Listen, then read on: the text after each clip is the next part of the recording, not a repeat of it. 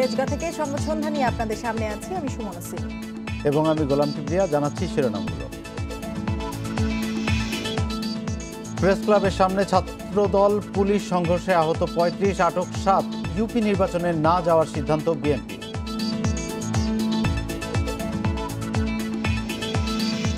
বিদেশি ব্যাংকে টাকা রাখা ব্যক্তিদের তালিকা চেয়েছে হাইকোর্ট। ফেরত আনার পদক্ষেপ জানতে চেয়ে রুল।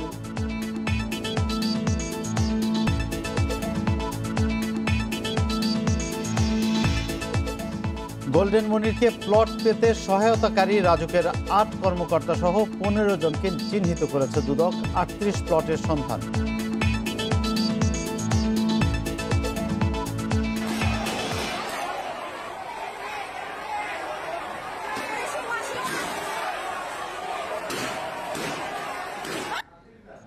মিয়ানমারের সেনা অভ্যুত্থান বিরোধী বিক্ষোভে পুলিশের গুলি, নিহত অন্তত দশ জন।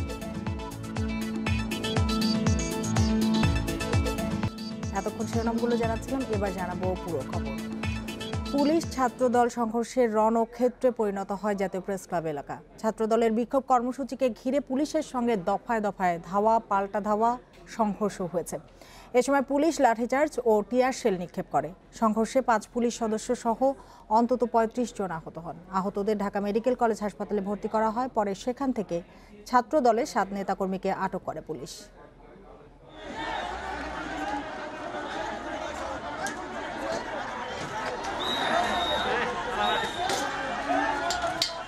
বিএনপি প্রতিষ্ঠাতা ও সাবেক রাষ্ট্রপতি জিয়াউর রহমানের খেতাব বাতিলের উদ্যোগ ও কারাগারে লেখক মুশতাকের মৃত্যুর প্রতিবাদে বিক্ষোভ কর্মসূচিতে পুলিশের বাধা উপেক্ষা করে কর্মসূচি পালনের চেষ্টা করলে পুলিশ ছাত্রদলের মধ্যে শুরু হয় ধাওয়া পাল্টা ধাওয়া।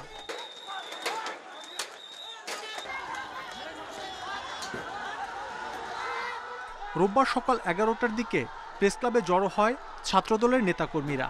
এ সময় বাইরে পুলিশের উপস্থিতি ছিল ব্যাপক। এক পর্যায়ে ছাত্রদলের ধাওয়ায় পুলিশ পিছু হটে।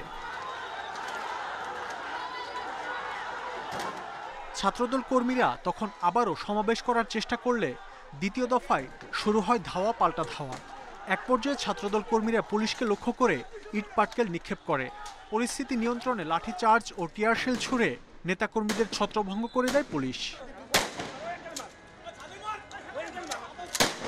দুপক্ষের সংঘর্ষের এক পর্যায়ে প্রেস ক্লাবের ভেতরে প্রবেশ করে পুলিশ। ছত্রভঙ্গ করে দেয় ভেতরে থাকা ছাত্রদল নেতাকর্মীদের। প্রায় ঘণ্টাখানেক চলা ধাওয়া পাল্টা ধাওয়ায় কয়েকজন পুলিশ সদস্য সহ আহত হন অর্ধ শতাধিক। পুলিশ বলছে, অনুমতি ছাড়াই সমাবেশের চেষ্টা করে পুলিশের উপর হামলা করা ছিল পূর্ব পরিকল্পিত। সমস্ত ইটগুলো পুলিশের উপর মারা হয়েছে প্রেস ক্লাবের ভিতর থেকে। সো এটা তাদের পরিকল্পিত এবং পূর্ব পরিকল্পনা মাফিক তারা পুলিশের উপর হামলা করেছে এবং আমরা এটার পুরো আইনগত ব্যবস্থা নেওয়া হবে তাদের পরে প্রেস ক্লাবের অন্য একটি অনুষ্ঠানে এই পুলিশি লাঠিচার্জের নিন্দা জানান বিএনপি নেতারা। এই ধরনের প্রতিবাদকে দাবি দিতে চাচ্ছেন এটা কখনোই তারা সফল হতে পারবে না। সাময়িকভাবে দাবিয়ে রাখা যায়। ধাওয়া পাল্টা ধাওয়ার পর প্রেস ক্লাব এলাকায় বাড়ানো হয় পুলিশি নিরাপত্তা। Mahmud Sharif independent news Dhaka. আসছে ইউনিয়ন পরিষদ নির্বাচনে অংশ না নেয়ার সিদ্ধান্ত নিয়েছে বিএনপি। রোববার বিকেলে দলের চেয়ারপারসনের গুলশান কার্যালয়ে এক সংবাদ সম্মেলনে কথা জানান বিএনপি মহাসচিব মির্জা ফখরুল ইসলাম আলমগীর। তিনি জানান, শনিবার স্থায়ী কমিটির বৈঠকে এ সিদ্ধান্ত হয়েছে। এ সময় দলের মহাসচিব উনত্রিশটি পৌরসভা, চারটি উপজেলা এবং তিনটি ইউনিয়ন পরিষদ নির্বাচনে অনিয়ম এবং কেন্দ্র দখলের অভিযোগ করেন। মির্জা ফখরুল অভিযোগ করেন, সব স্থানীয় সরকার নির্বাচনে ভোট কারচুপি হয়েছে। এই নির্বাচন কমিশনের অধীনে কোনো নির্বাচন সুষ্ঠু হবে না বলেও অভিযোগ করেন মির্জা ফখরুল। তিনি সুবর্ণ জয়ন্তী জাতীয় কমিটির যে স্থানীয় সরকার নির্বাচনে আমরা মনে করেছিলাম যে এখানে অন্তত সরকার একটা সুষ্ঠুভাবে নির্বাচন করার ব্যবস্থা করবে, নির্বাচন কমিশন সুষ্ঠু ব্যবস্থা নেবে। কিন্তু এখন পর্যন্ত যা হয়েছে, তা এত ফ্রাস্ট্রেটিং যে এখন আমরা সিদ্ধান্ত নিচ্ছি যে আগামী যে ইউনিয়ন পরিষদ নির্বাচনগুলো অনুষ্ঠিত হবে, সেগুলোতে অংশগ্রহণ না করার সিদ্ধান্ত গ্রহণ করছি আমরা। কারাগারে লেখক মুস্তাক আহমেদের মৃত্যুর বিষয়টি দুঃখজনক বলে মন্তব্য করেছেন আওয়ামী লীগের সাধারণ সম্পাদক ও সড়ক পরিবহন ও সেতুমন্ত্রী ওবায়দুল কাদের। সকালে তার সরকারি বাসভবন থেকে ভিডিও কনফারেন্সে এক অনুষ্ঠানে যুক্ত হয়ে মন্তব্য করেন তিনি। তদন্তের মাধ্যমে লেখক মুস্তাকের মৃত্যুর রহস্য উন্মোচিত হবে বলেও আশা প্রকাশ করেন ওবায়দুল কাদের। ডিজিটাল নিরাপত্তা আইনের অপপ্রয়োগ যাতে না হয় সে বিষয়ে সরকার সচেষ্ট বলে জানান তিনি। বলেন, সরকার মত প্রকাশের স্বাধীনতায় বিশ্বাসী। স্বাধীনতা মানে এই নয় যে যার যা খুশি বলার নিরঙ্কুশ বা একচেটিয়া অধিকার থাকবে। মুস্তাকের মৃত্যুর ঘটনা নিয়ে একটি মহল ঘোলা পানিতে মাছ শিকারের অপচেষ্টা করছে বলেও জানান ওবায়দুল কাদের। জমা দিতে পারছেন ডিজিটাল বাংলাদেশের জন্য একদিকে ডিজিটাল নিরাপত্তা যেমনি জরুরি, তেমনি এই আইনের অপপ্রয়োগ যাতে না হয়, সে বিষয়ে সরকার সচেষ্ট। স্বাধীনতা মানে যা যা খুশি তা বলার ও লেখার নিরঙ্কুশ বা একচেটিয়া অধিকার নয়। বিদেশে পাচার হওয়া টাকা ফেরত আনার নির্দেশ কেন দেয়া হবে না জানতে রুল জারি করেছে হাইকোর্ট। এ বিষয়ে সংশ্লিষ্টরা কি ব্যবস্থা নিয়েছে তা জানাতে হবে ত্রিশ মার্চের মধ্যে। রোববার বিচারপতি মোহাম্মদ নজরুল ইসলাম তালুকদার এবং বিচারপতি মহিউদ্দিন শামীমের ভার্চুয়াল বেঞ্চ এ আদেশ দেন। বাংলাদেশ থেকে সুইস ব্যাংকে পাচার করা টাকা ফেরত আনার ব্যর্থতা ও নিষ্ক্রিয়তা কেন অবৈধ হবে না তা জানতে পয়লা ফেব্রুয়ারি রিট করেন দুই আইনজীবী। রিটে মুসাবিন শমশের ও অন্যদের পাচার করা টাকা ফিরিয়ে আনার নির্দেশনা চাওয়া হয়। এগারো ফেব্রুয়ারি হাইকোর্টের সংশ্লিষ্ট ভার্চুয়াল বেঞ্চে এ নিয়ে শুনানি হয়। রোববার আদেশ দেওয়ার দিন ধার্য করে হাইকোর্ট। বিভিন্ন অবস্থা বিবেচনার পরে মাননীয় আদালত please to pass the rule, যে তাদের যে ইনঅ্যাকশনটা সেটা কেন অবৈধ ঘোষণা করা হবে না আপনার বিশেষ করে সুইস ব্যাংকে যে টাকা রিকভারির ক্ষেত্রে যে ব্যর্থতা এই ব্যর্থতা কেন অবৈধ ঘোষণা করা হবে না? এটার উপরে রুল জারি করেছেন। এরই ধারাবাহিকতায় রুল জারি করেছে আদালত। রুলে পানামা পেপারস ও প্যারাডাইস পেপারসে যেসব বাংলাদেশের নাম এসেছে তাদের বিরুদ্ধে কেন তদন্ত করা হবে না তা জানতে চাওয়া হয়েছে। সরকার কাজ করতেছে এবং বিভিন্নভাবে এই যে আইনগুলো সংশোধন করে বিদেশ থেকে যে টাকাগুলো ইতিমধ্যে এসেছে প্রায় বিশ কোটি টাকার মতো এসেছে। আরও যাদের টাকা মানে অর্থ পাচারের মাধ্যমে মানি লন্ডারিংয়ের মধ্যে পাচার হয়েছে সেটাগুলো আনার জন্য সরকারের বিভিন্ন সংস্থা কাজ করতেছে।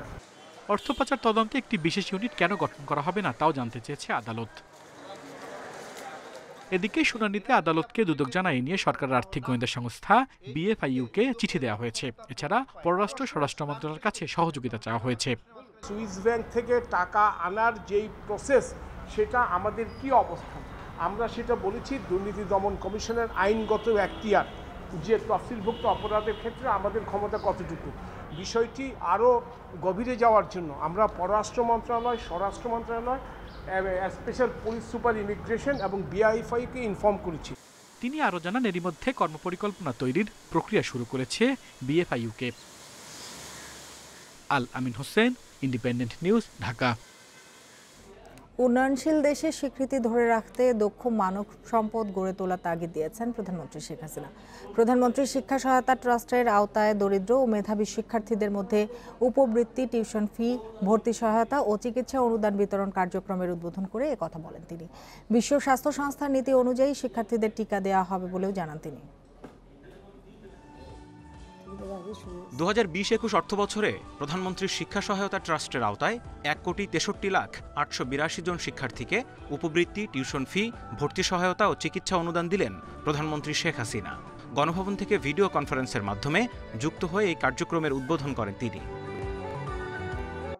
বক্তব্যে প্রধানমন্ত্রী বলেন, তিরিশ মার্চ শিক্ষা প্রতিষ্ঠান খোলার আগেই শিক্ষক কর্মচারীদের পাশাপাশি শিক্ষার্থীদেরও বিশ্ব স্বাস্থ্য সংস্থার গাইডলাইন অনুযায়ী টিকার আওতায় আনা হবে। শিক্ষা প্রতিষ্ঠানের যত শিক্ষক, কর্মচারী যারা আছে, সকলকেই টিকা নিতে হবে। সেই টিকা দেওয়ার ব্যবস্থা নেওয়ার জন্য ইতিমধ্যেই আমরা স্বাস্থ্য মন্ত্রণালয়কে নির্দেশ দিয়ে দিয়েছি এবং সেই টিকা সবাইকে দেওয়া হবে। আর ইউনিভার্সিটি বা কলেজে ডাব্লিউএইচওর নির্দেশ মোতাবেক যে বয়স পর্যন্ত টিকা দেওয়া যাবে না, তার উপরের বয়সে যারা, সেসব শিক্ষার্থীদেরকেও টিকা দেওয়া হবে। দক্ষ জনশক্তি গড়ে তুলতে বিজ্ঞান ও কারিগরি শিক্ষার উপর জোর দেওয়ার তাগিদ দেন প্রধানমন্ত্রী। বলেন, দেশের অর্থনৈতিক উন্নয়নে শিক্ষার কোনো বিকল্প নেই। কারিগরি শিক্ষা, এটাই হচ্ছে সবথেকে গুরুত্বপূর্ণ, কারণ এটা কর্মসংস্থানের সুযোগ সৃষ্টি করবে, এটা শুধু দেশে না, বিদেশেও। আর আমাদের সেই জন্যই প্রয়োজন, আমি একশোটা অর্থনৈতিক অঞ্চল তৈরি করছি। সেখানে দেশি বিদেশি বিনিয়োগ হচ্ছে, সেখানে আমাদের অনেক টেকনিক্যাল লোক লাগবে, অনেক কারিগরি লোক লাগবে। দক্ষ জনশক্তি প্রয়োজন হবে। কাছে সেই দক্ষ জনশক্তি আমরা সৃষ্টি করতে যাই সরকারের পাশাপাশি শিক্ষা সহায়তায় বিত্তশালীদের এগিয়ে আসারও আহ্বান জানান প্রধানমন্ত্রী। একজন বিশিষ্ট বিজ্ঞানী। জাহিদুল বাসার ইন্ডিপেন্ডেন্ট নিউজ ঢাকা। সংবাদ সন্ধ্যায় এ পর্যায়ে নিচ্ছে বিরতি। ফিরে এসে আরও যা থাকছে। পঞ্চম ধাপে উনত্রিশ পৌরসভায় চলছে ভোট গণনা। সৈয়দপুরে দুই কাউন্সিলর প্রার্থীর সমর্থকদের সংঘর্ষে একজন নিহত।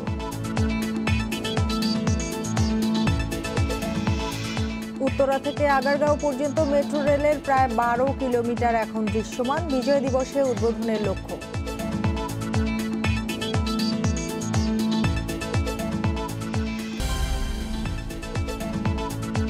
বিরতির পর ফিরে এলাম সংবাদ সন্ধ্যায় যাচ্ছি পরের প্রসঙ্গে। অবৈধ স্বর্ণ ব্যবসায়ের অভিযোগে আটক গোল্ডেন মনিরের এ পর্যন্ত আটত্রিশটি প্লটের সন্ধান পেয়েছে দুদক। অভিযোগ আছে, রাজধানীতে তার প্লটের সংখ্যা দুইশোরও বেশি। জালিয়াতি এবং কৌশলের মাধ্যমে এসব প্লট পেতে মনিরকে সহায়তাকারী রাজুকের আট কর্মকর্তা সহ পনেরো জনকে চিহ্নিত করেছে দুদক। এ বিষয়ে টিআইবি বলছে, দোষীদের দ্রুত আইনের আওতায় নিয়ে এসে ন্যায় বিচার নিশ্চিত করতে হবে।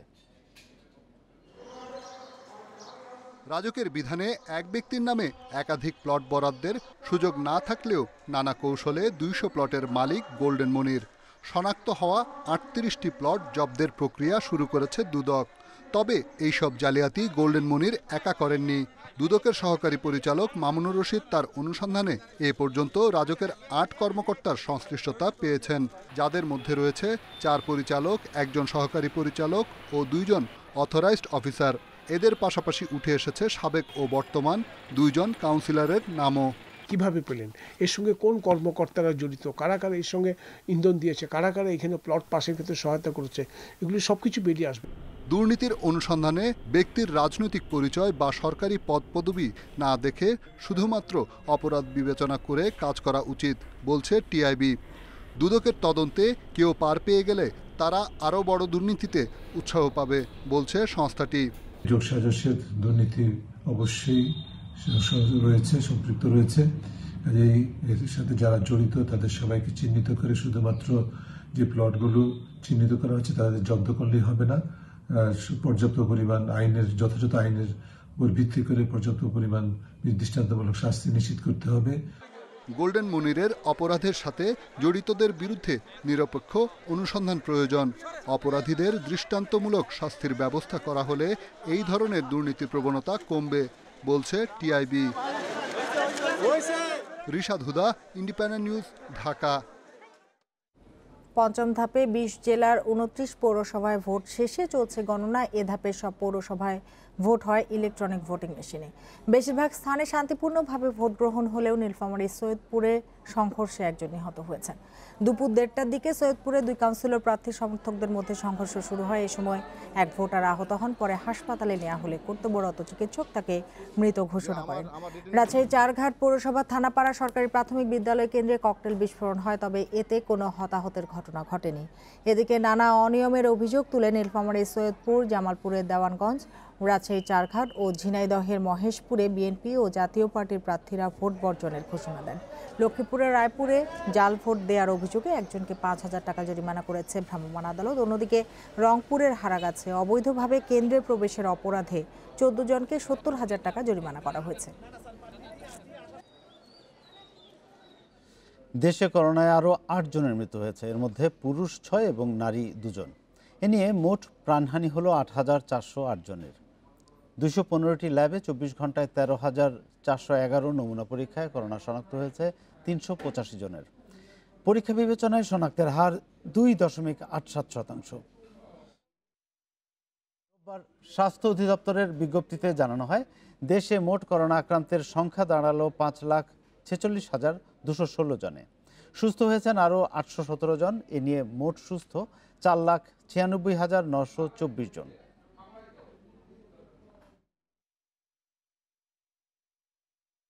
বিশ্বে একদিনে করোনায় মারা গেছে আট হাজারের বেশি মানুষ। এ নিয়ে মোট প্রাণহানি ছাড়িয়েছে পঁচিশ লাখ ছত্রিশ হাজার।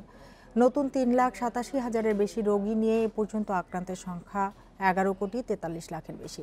চব্বিশ ঘন্টায় সবচেয়ে বেশি দেড় হাজার জনের মৃত্যু হয়েছে যুক্তরাষ্ট্র। দেশটিতে এ পর্যন্ত প্রাণহানি ছাড়িয়েছে পাঁচ লাখ চব্বিশ হাজার। নতুন শনাক্ত চৌষট্টি হাজারের বেশি ব্রাজিলে একদিনে মারা যাওয়া মানুষের সংখ্যা এক হাজার দুশোর বেশি। নতুন শনাক্ত উনষাট হাজারের বেশি রোগী।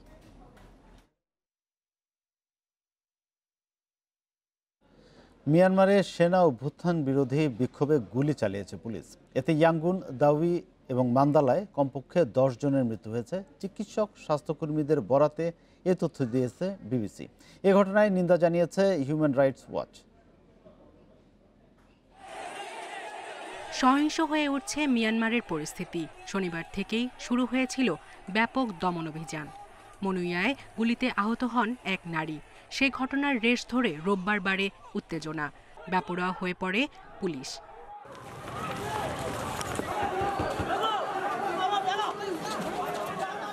ইয়াঙ্গনে বিক্ষোভ ছত্রভঙ্গ করতে শুরুতে ছোড়া হয় স্টান গ্রেনেড ও টিয়ার গ্যাস। তাতে কাজ না হলে চালানো হয় গুলি। হতাহতদের হাসপাতালে নেওয়া হয়েছে।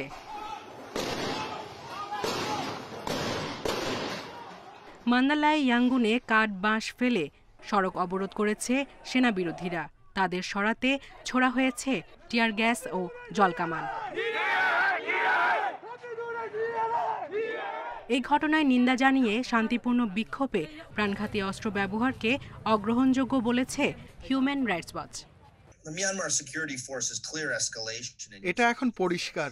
মিয়ানমারের আইন শৃঙ্খলা বাহিনী শান্তিপূর্ণ বিক্ষোভে প্রাণঘাতী অস্ত্র ব্যবহার করছে। পরিস্থিতি আরও ভয়াবহ করে তুলেছে। এ ঘটনা খুবই আপত্তিকর ও অগ্রহণযোগ্য। দমন অভিযান এখনই বন্ধ করা উচিত। বিক্ষোভ দমনে গুলি করা যাবে না। প্রাণহানির ঘটনার নিরপেক্ষ তদন্ত হতে হবে। পয়লা ফেব্রুয়ারি সেনা অভ্যুত্থানের আগেই আটক করা হয় মিয়ানমারের নেত্রী অং সাং সুচিকে তার মুক্তি ও সেনা শাসনের অবসান চেয়ে বিক্ষোভ চলছে। সায়রা খান ইন্ডিপেন্ডেন্ট নিউজ সংবাদ সন্ধ্যায় আবার একটি বিরতি। ফিরে এসে অন্যান্য খবরের সাথে আরও যা থাকছে। আবাহনীর বিপক্ষে আরও একবার শ্রেষ্ঠত্ব প্রমাণ দিল বসুন্ধরা চার এক গোলের ব্যবধানে জয়।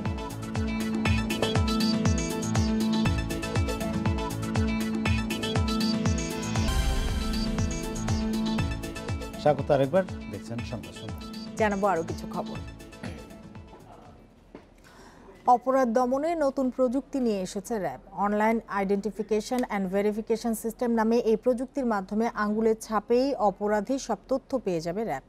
এতে আইনশৃঙ্খলা বাহিনীর কর্মকাণ্ড আরও এগিয়ে যাবে বলে আশা প্রকাশ করেছেন স্বরাষ্ট্রমন্ত্রী।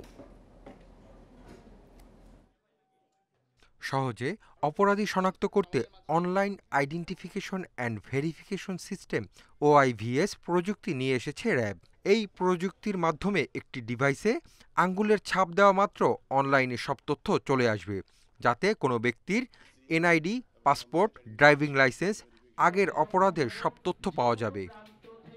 রোববার দুপুরে স্বরাষ্ট্র মন্ত্রণালয়ের সম্মেলন কক্ষে ওআইভিএস প্রযুক্তির উদ্বোধন করেন স্বরাষ্ট্রমন্ত্রী আসাদুজ্জামান খান। তিনি বলেন, এতে আইনশৃঙ্খলা বাহিনীর কর্মকাণ্ড আরও এক ধাপ এগিয়ে যাবে।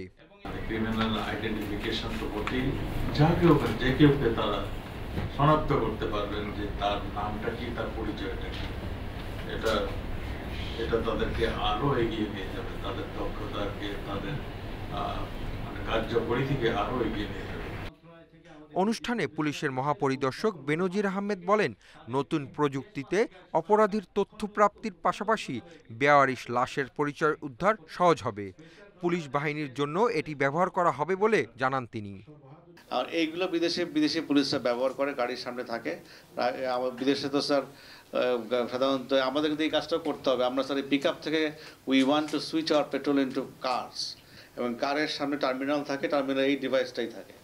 যে তার মাধ্যমে তারা কখনো যদি কাউকে সন্দেহ হয়, সঙ্গে সঙ্গে তার পিসিপি আর পাস্ট রেকর্ড তারা ইনস্ট্যান্টলি এই মেশিনের মাধ্যমে দেখে থাকে। তো এটি একটা ভালো উদ্যোগ র্যাব নিয়েছে।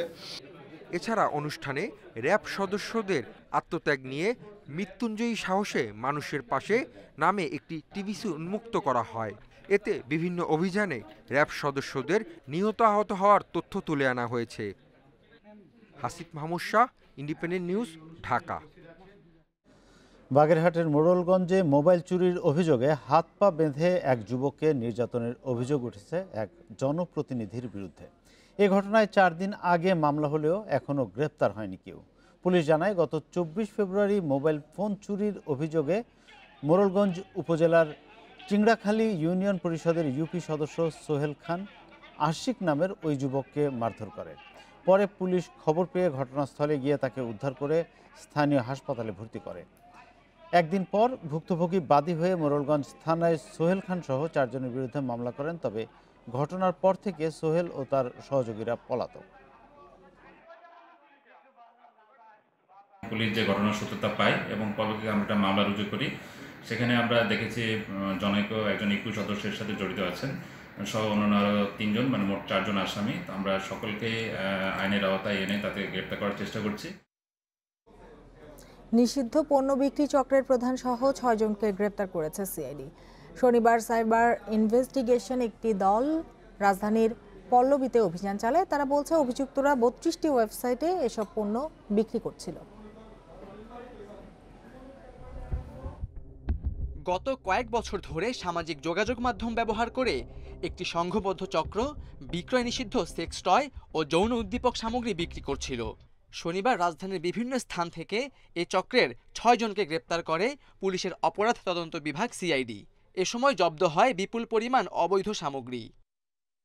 সিআইডি বলছে, চক্রটি সিএনডিএফ এজেন্টদের ঘুষ দিয়ে বৈধ পণ্য আমদানির আড়ালে এসব নিষিদ্ধ পণ্য দেশে আনত। পরে বিভিন্ন ওয়েবসাইট ও সামাজিক যোগাযোগ মাধ্যমে লোভনীয় বিজ্ঞাপন দিয়ে তা উচ্চমূল্যে বিক্রি করত। আমদানি নিষিদ্ধ এই সমস্ত পণ্য সরকারি শুল্ক ও কর ফাঁকি দিয়ে বৈধ পণ্যের আড়ালেই তার মূলত এই কাজটি সে করে এসেছে এতদিন। বিভিন্ন সি অ্যান্ড এফ এজেন্টকে নানাভাবে সে তার প্রতারণার জাল বিস্তার করে তাদেরকে কবজায় নিয়ে তাদের মাধ্যমে এগুলো করতো। সিআইডি জানায়, মূলত ত্রিশ ঊর্ধ্ব মানুষকে টার্গেট করত চক্রটি। পণ্য বিক্রির আর্থিক লেনদেনে ব্যবহার হতো মোবাইল ফিনান্সিয়াল সার্ভিস। অনেক সময় ক্রেতাদের কাছ থেকে অগ্রিম টাকা নিয়ে পণ্য না পাঠিয়ে টাকা আত্মসাৎ করত চক্রের সদস্যরা। ওয়েবসাইটগুলো এত উদ্দীপক ওয়েবসাইট যে যে কেউ এখানে প্রলুব্ধ হতে পারেন। কিন্তু তারা মূলত টার্গেট করে তিরিশ ঊর্ধ্ব একটি গ্রুপকে করেন এবং সিঙ্গেল যারা থাকেন এই জাতীয় গ্রুপকেই তারা মূলত টার্গেট করে থাকেন। মনোরোগ বিশেষজ্ঞরা বলছেন এসব যৌন উদ্দীপক দেশের তরুণ সমাজকে বিপথে ঠেলে দিচ্ছে। যে তরুণ, তরুণী, কিশোর, কিশোরীদের মধ্যে পারিবারিক বন্ধন, পরিবারের সদস্যদের সাথে গুণগত সময় কাটানো ইনডোর গেমস খেলা, এই বিষয়গুলো যত কমে আসছে, তত তারা কিন্তু আত্মকেন্দ্রিক হয়ে যাচ্ছে এবং এই ধরনের বিষয়গুলোর দিকে তারা বেশি বেশি ঝুঁকে পড়ছে। কিন্তু নৈতিকভাবে তারা অবক্ষয়ের মধ্যে পড়ে যাচ্ছে, তাদের স্বাভাবিক জীবনযাত্রা ব্যাহত হচ্ছে। আরেকটি হচ্ছে ভবিষ্যতের জন্য, তাদের ভিতরে ব্যক্তিত্বের বিকার তৈরি হচ্ছে। এ ধরনের পণ্য দেশে প্রবেশ ঠেকাতে সংশ্লিষ্ট কর্তৃপক্ষকে আরও সতর্ক হওয়ার আহ্বান জানিয়েছেন বিশেষজ্ঞরা। Khaled Raihan, independent news, Dhaka. রাজধানীর উত্তরা থেকে আগারগাঁও পর্যন্ত মেট্রো রেল এখন দৃশ্যমান। সকালে এই রুটের তিনশো পঁচাত্তর এবং তিনশো ছিয়াত্তর নম্বর পিলারের উপর প্রথম ধাপের শেষ ডায়াডা- ভায়াডাক্ট বসানো হয়। এর মাধ্যমে দৃশ্যমান প্রায় বারো কিলোমিটার অংশ। মেট্রো রেলের কাজের অগ্রগতি পরিদর্শন করে প্রকল্প বাস্তবায়নকারী সংস্থা ডিএমটিসিএল এর ব্যবস্থাপনা পরিচালক এম এ এন সিদ্দিক বলেন, নির্ধারিত সময়ের মধ্যে কাজ শেষ করার চেষ্টা করছেন তারা। এপ্রিলের মধ্যেই মেট্রো রেলের ট্রেন বাংলাদেশে আসতে পারে বলে জানান তিনি। উত্তরা থেকে মতিঝিল পর্যন্ত বিশ দশমিক এক কিলোমিটার মেট্রো রেল প্রকল্প বাস্তবায়ন করা হচ্ছে বাইশ হাজার কোটি টাকায়। চলতি বছরই বিজয় দিবসে উদ্বোধনের লক্ষ্য নিয়ে কাজ হচ্ছে বলে জানিয়েছে কর্তৃপক্ষ। ট্রেনটা জানুয়ারি মাসে আসার কথা ছিল। কিন্তু যেহেতু জাপানের মানে যাওয়ার নিষেধাজ্ঞার কারণে এখন এই ট্রেনটা কিন্তু এপ্রিল মাসে আসছে। এখানে আপনি একটু পিছিয়ে যাওয়ার বিষয়ে আপনি একটু দেখতে পাচ্ছেন। আবার ট্রেনটা আসার পরে আবার একটু টেস্ট করতে হবে। সেখানে হয়তো আমাদের পনেরো দিন, বিশ দিন সময় লেগে যেতে বা এক মাসও সময় লেগে যেতে পারে। এই জায়গাগুলোকে আমরা একটু ঠিক করে আমরা চূড়ান্ত সিদ্ধান্তটা আমরা গ্রহণ করব। সংবাদে আবার একটি বিরতি। এর বড় খবর নিয়ে সাথে থাকুন। বিরতির পর ফিরে এলাম সংবাদ সন্ধ্যায়। জানাচ্ছি আরও কিছু খবর। আবাহনীর বিপক্ষে আরও একবার শ্রেষ্ঠত্ব প্রমাণ করল বসুন্ধরা কিংস। প্রিমিয়ার লিগ ফুটবলে দুই হেভিওয়েটের লড়াইয়ে চার এক গোলে জয় বসুন্ধরার। বঙ্গবন্ধু জাতীয় স্টেডিয়ামে দুই অর্ধে দুটি করে গোল দিয়েছেন বসুন্ধরা কিংস। জোড়া গোল করেছেন আর্জেন্টাইন ফরওয়ার্ড রাউল বেসেরা। স্কোরশিটের নাম তুলেছেন ফার্নান্দেজ এবং খালেদ। শেষ দিকে এক গোল শোধ দেন আবাহনীর হাইতিয়ান রিক্রুট বেলফোর্ড। এই জয়ে আবাহনী এবং শেখ জামালের চেয়ে বারো পয়েন্ট এগিয়ে গেল বসুন্ধরা। লিগের মাঝপথেই শিরোপা নিশ্চিত করে ফেলার দিকে ক্লাবটি। টঙ্গীর শহীদ আসানুল্লাহ মাস্টার স্টেডিয়ামে দিনের আরেক ম্যাচে ঘটেছে অঘটন।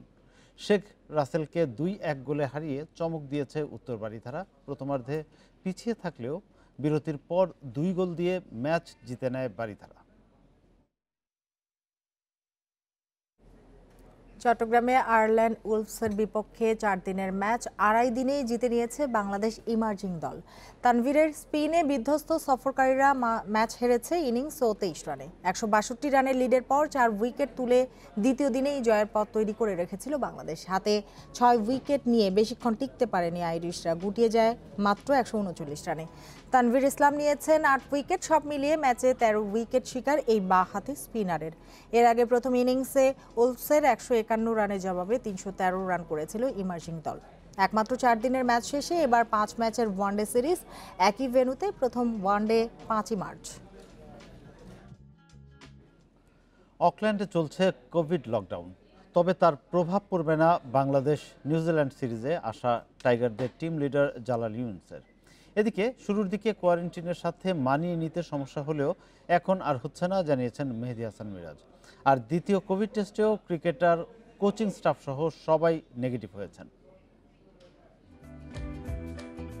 দেশ ছাড়ার আগে প্রতিপক্ষ নিউজিল্যান্ডের চেয়ে বেশি ভয় ছিল সেখানকার করোনা প্রোটোকল নিয়ে। প্রথম তিন দিন তেমনই গেছে, একেবারে ঘরবন্দি। তবে সময়ের সঙ্গে সেই ভয় কেটে গেছে। খোলা আকাশের নিচে ঘণ্টাখানিকের হাঁটা চলার সুযোগ মিলেছে। ক্রিকেটাররাও চেষ্টা করে যাচ্ছেন ফিট থাকার। সেই সঙ্গে একত্রে অনুশীলনে নামার অপেক্ষাও কমে এসেছে। আমাদের কিছু প্লেয়ারদের সাথে দেখা হয়েছে, তাদের সাথে বিভিন্ন বিষয় আলাপ করা হচ্ছে এবং বলছি কীভাবে কি এক্সপিরিয়েন্স শেয়ার করছে সবাই সবার সাথে এবং কথা বলছি। এটাও খুব ভালো লাগার ছিল ওই সময়টা।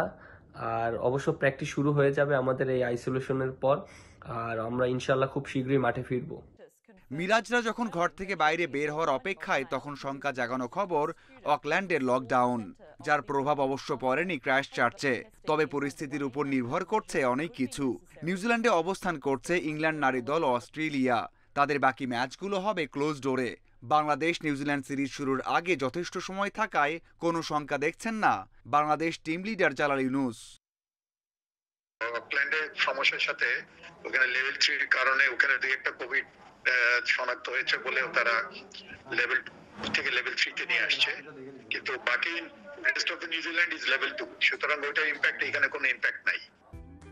কোয়ারেন্টিন শেষে দুই মার্চ থেকে ছোট গ্রুপে অনুশীলনের সুযোগ পাবে বাংলাদেশ। আর নয় মার্চ দলীয় প্রস্তুতি শুরু করতে পারবেন তামিম মুশফিকরা। মাঝারুল ইসলাম ইন্ডিপেন্ডেন্ট নিউজ আর এই ছিল এখনকার আয়োজন। শেষ করার আগে শিরোনামগুলো জানিয়ে দিচ্ছি আরও একবার। প্রেস ক্লাবের সামনে ছাত্রদল পুলিশ সংঘর্ষে আহত পঁয়ত্রিশ, আটক সাত, ইউপি নির্বাচনে যাবে না বিএনপি, ঘোষণা ফখরুলের।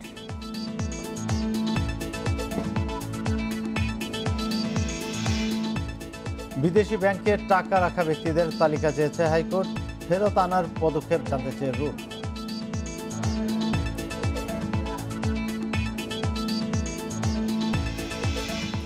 গোল্ডেন মনিরকে প্লট পেতে সহায়তাকারী রাজুকের আট কর্মকর্তা সহ পনেরো জনকে চিহ্নিত করেছে দুদক আটত্রিশ প্লটের সন্ধান।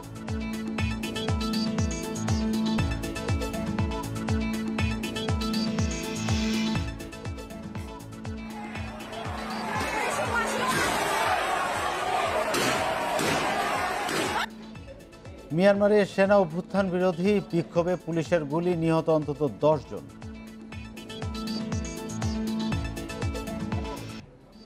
সেই সঙ্গে শেষ করছি সংবাদ সন্ধ্যা।